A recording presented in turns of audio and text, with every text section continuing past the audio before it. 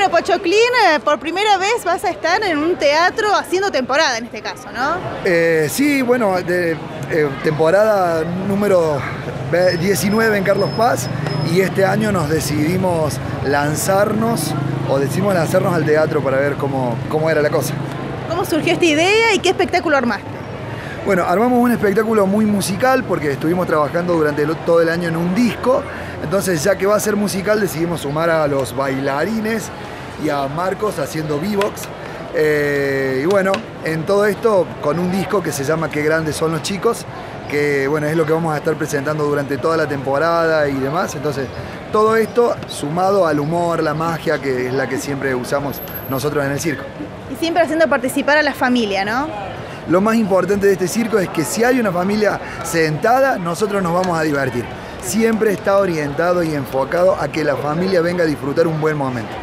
Bueno, Marcos, contanos lo que haces en el espectáculo. Eh, ¿Qué tal? Eh, bueno, mi, mi parte en el espectáculo es un poco de Big Box, que es sonido con la boca, ayudando a cantar algunas canciones y también eh, coreografía.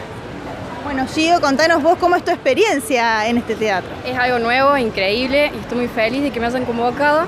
Y más que nada para bailar, que es lo que vamos a hacer con familia, con muchos chicos y nada, muy contenta de esta oportunidad que tenemos hoy.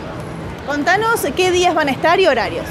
Bueno, en el Teatro Ciego, así se llama, Espacio Teatro Ciego, vamos a estar jueves, viernes, sábados y domingos a las 19 horas. Ese es nuestra, nuestros días en teatro, de jueves a domingos 19 horas a la gorra, para que todo el mundo pueda venir, porque la gente tiene que venir al teatro a ver. ¿Y los días que van a estar en la plaza, cuáles son?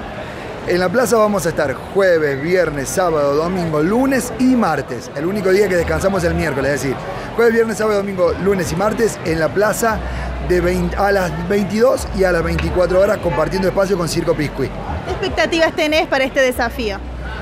Y hemos invertido mucho tiempo, hemos invertido capital, así que queremos, queremos que nos vaya bien, pero sabemos que nos va a ir bien porque la gente, a la gente le gusta sentarse a disfrutar de un buen espectáculo. Y eso es lo que tenemos, un buen espectáculo para toda la familia. Con esta temporada, ¿cuántos años se cumplen del payaso Pochoclín? Temporada número 20 del payaso Pochoclín, yo largué en el 99, o sea que 19 acá, o sea que son 20 años. Y temporada número 15 haciendo circo, así que imagínate.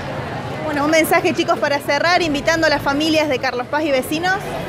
Los esperamos, a todos, a todo Carlos Paz, a la familia, vengan a divertirse, a sentarse, a pasar un buen momento, a escuchar canciones que escuchábamos cuando éramos chicos.